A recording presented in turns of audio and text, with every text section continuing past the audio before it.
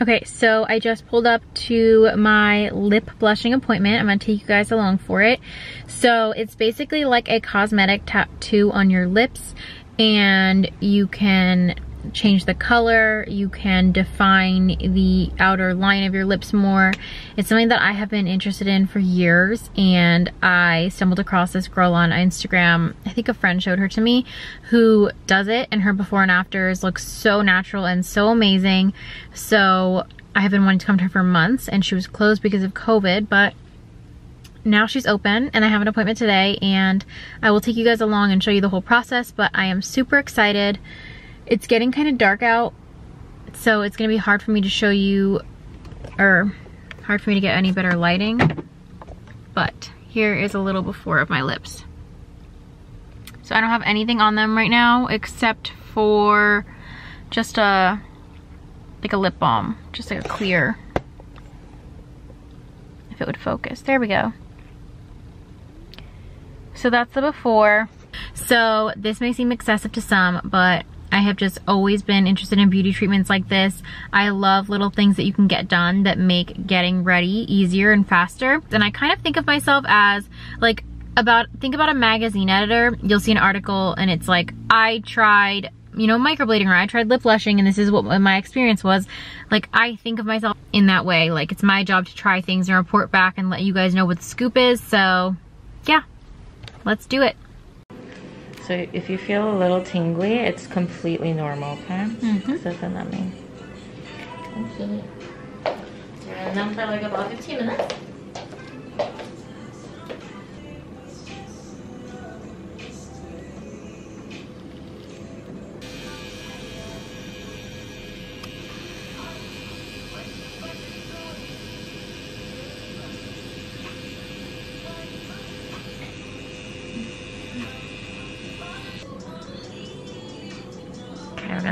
Five minutes. And then I'm gonna finish off the second, third pass. It's looking good. Okay. I can't even look at myself. Okay, so obviously my lips are super, super, super swollen right now.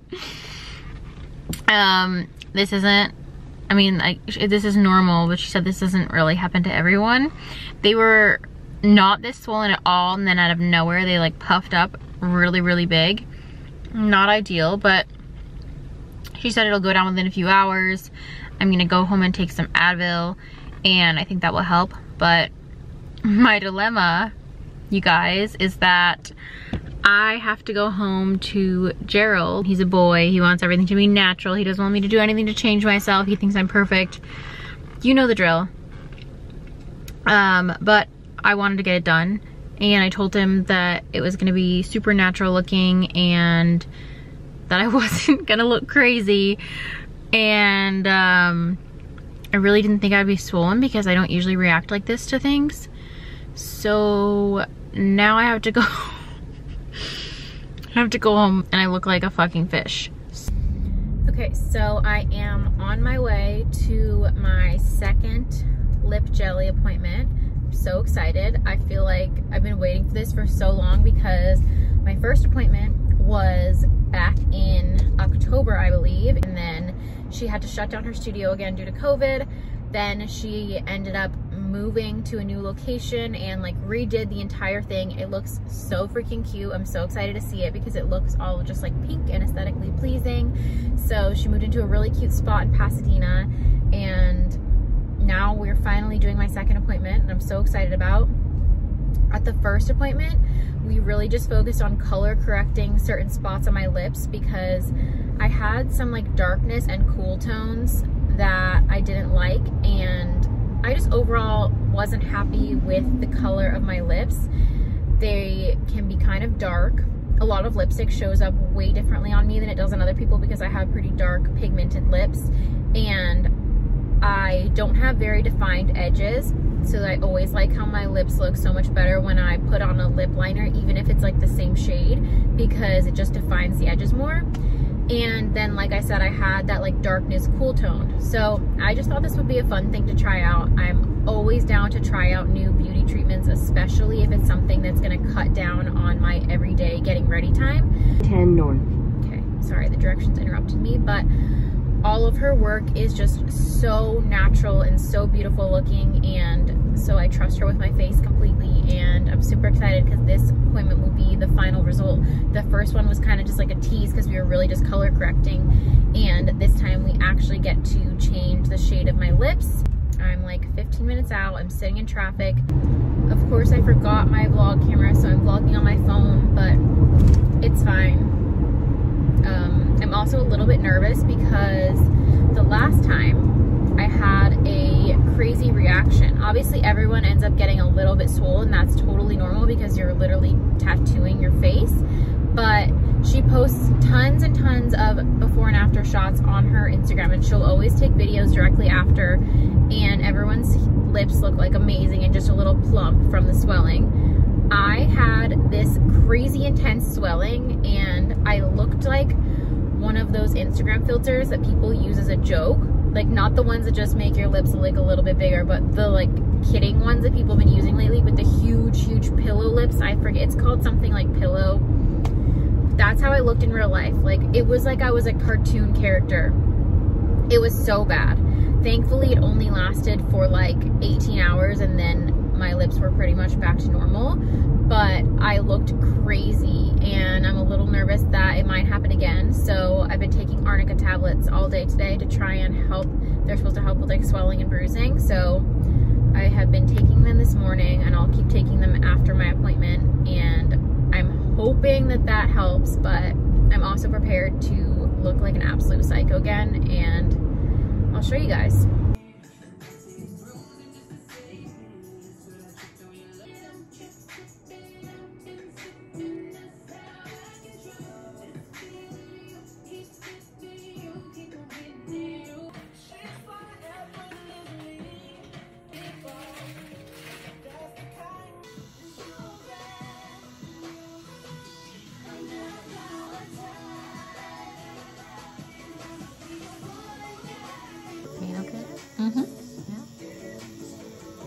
One through? Okay, perfect.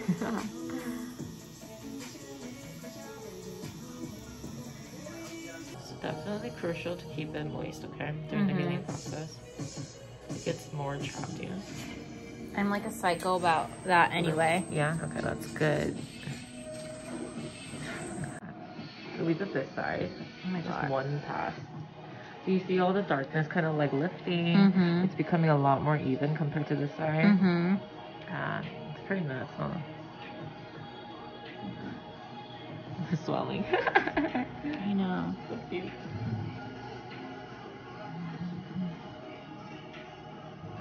Like you can see like the inner inner. Isn't that crazy? Yeah. And even these spots, it's called Fordyce spots. It's Mhm. very, very common in lips.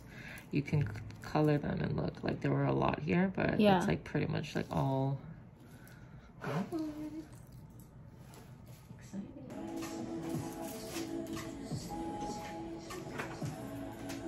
Okay, so I just finished. I'm obviously very swollen. It's like honestly a little bit hard to talk because my lips are so big, but believe it or not, this is less swollen than I was last time. So she did some like cooling, like, I don't know, cooling um, like cloths with some special treatment on them in between passes to help with the swelling. And also obviously I took my arnica tablets, which I need to take some more right now. But yeah, they're less swollen, so I already feel better about it. I feel like I'll ice them when I get home, and I know that they'll probably be back to normal by tomorrow. So that's good, and I'm so, so happy with the color. Um, this isn't like the final color. I won't really see the final color for like four to six or even eight weeks, but this is like pretty close to what it'll be, and I just feel like it looks so good. It looks so natural.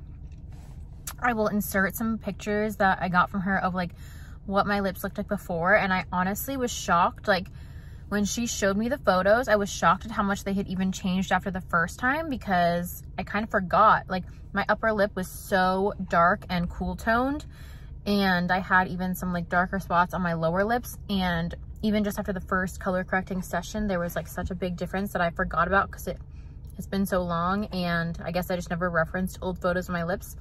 So I'm super excited to see how they heal this time around because I feel like all of that cool toned darkness is going to be gone. So gonna head home. Hopefully Gerald is not as freaked out as last time. Last time he was like so scarred because he didn't, I mean, neither of us knew we were to be that swollen. Obviously he's just like a boy. He hates all procedures in general. He doesn't want me to get anything done. So I feel like this time he A, knows what to expect and B, it's not quite as jarring. So gonna head home. I debated stopping somewhere to get like an ice pack or something to put on my lips while I drive, but I don't want to put a mask on right now.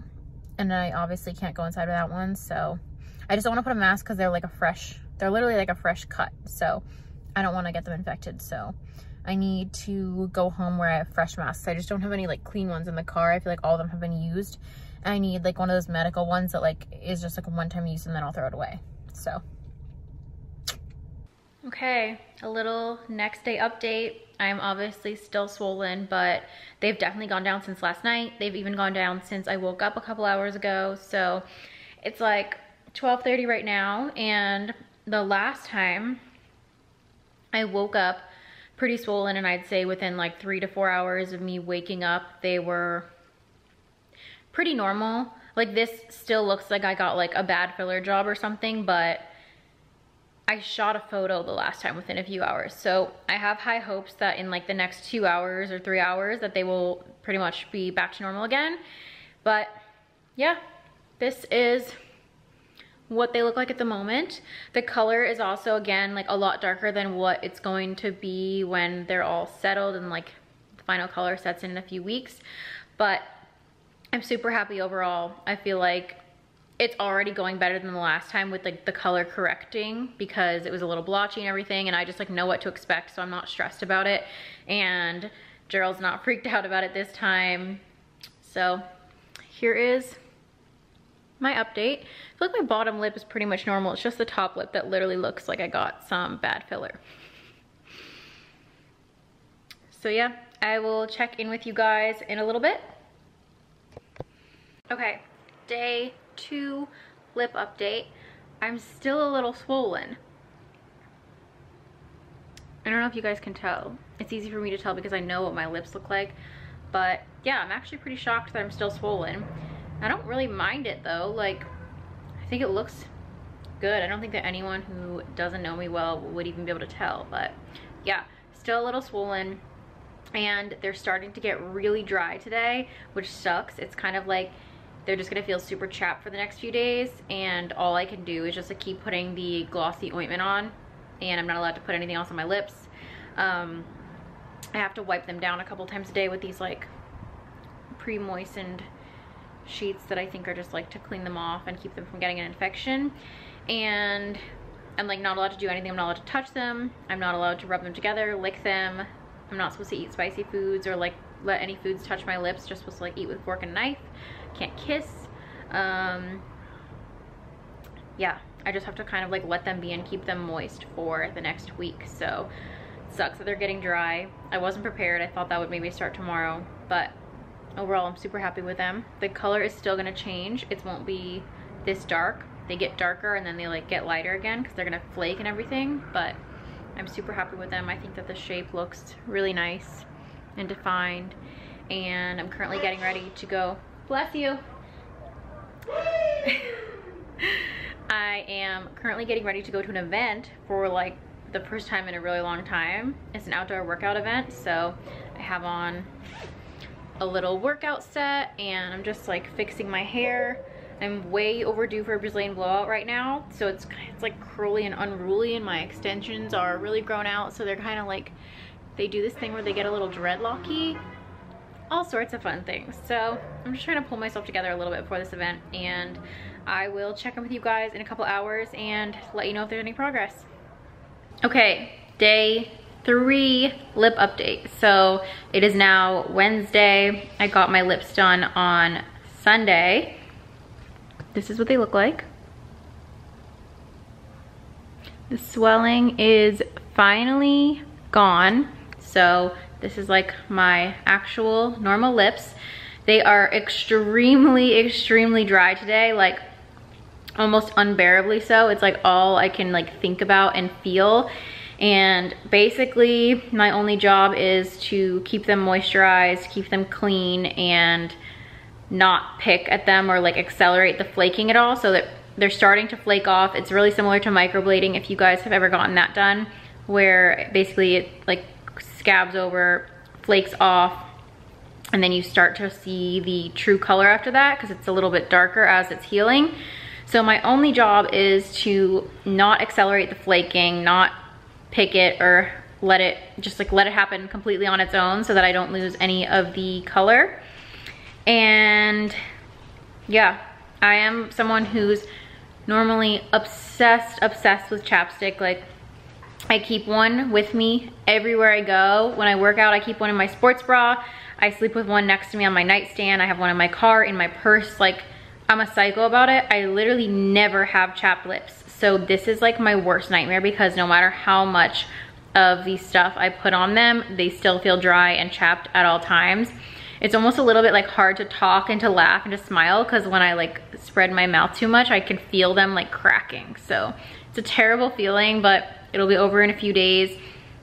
I think this will probably be my last update on this video because the swelling is all gone and there's like nothing more to see. It's gonna be like at least another five to seven days before they're like back to normal and then a few weeks before the true true color is like showing so I'll probably just keep you guys updated on the weekly videos so check back there for any other updates but yeah I also wanted to touch on quickly like I don't want you guys to be confused by the by the footage from both appointments. So basically in my first appointment we just ended up color correcting my lips so if you heard her talk about it in the second video or in the second appointment, she was talking about like some darkness and some discoloration spots that I had on my lips. So the first appointment, we strictly just color corrected my lips because they were kind of dark and purpley and cool toned. And then in the second appointment, we really achieved like my full dream lips. We defined the borders a bit more and customized the color to something like a little bit more pinky and natural and less cool toned. So that's why it was like slightly different what she was doing in each appointment. The first one, she didn't define the border at all. She just focused on changing the darkness and the cool tones. I will insert a photo so that you guys can see the before of my lips before I ever had anything done. And yeah, obviously check back the vlogs for updates if you're interested. Thank you guys so much for watching. Please subscribe and I will talk to you guys soon.